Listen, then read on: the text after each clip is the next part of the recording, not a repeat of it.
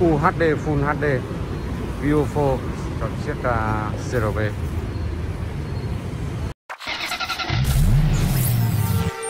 Ca cam Việt Nam sẵn sàng ghi hình. Hầu hết những khách hàng mà chọn Viofo thì đều là những người đã có tìm hiểu về cái à, thương hiệu và những cái chất lượng của hàng hóa này rồi.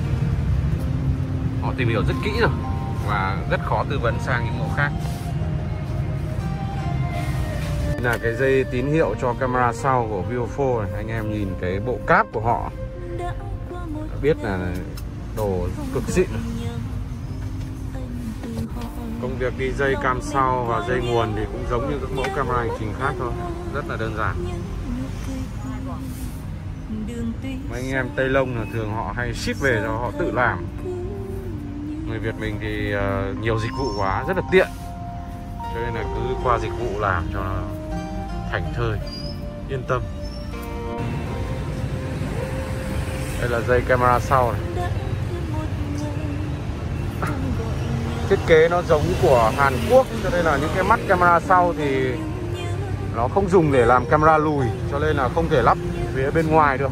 Tức là nó không chịu được bụi được uh, nước mưa và nó thường lắp phía sau, ở trong kính như này, phía sau này là ghi hình phía sau với độ led rất cao.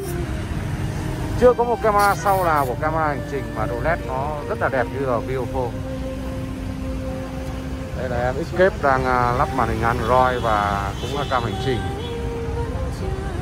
Em kia là Xpander đang đợi một cái cam hành trình của Vietmap.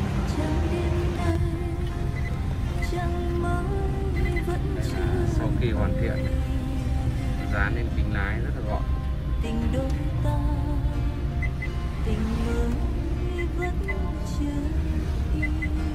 Khách được hướng dẫn sử dụng. Đây là phần mềm uh, Viofo, cái app Viofo để kết nối với camera trên uh, smartphone